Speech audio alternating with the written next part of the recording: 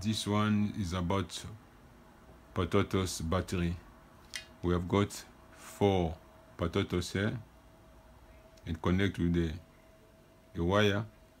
Then this is the the voltmeter.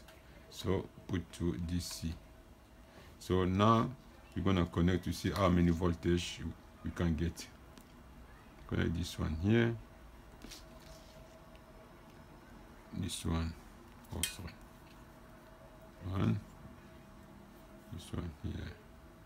You see with four potatoes we can get 1.80 80 82 81 83 voltage.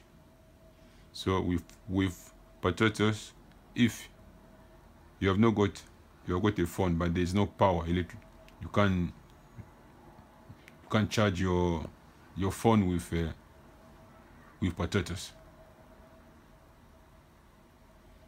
so this is the one i just want to to show you today.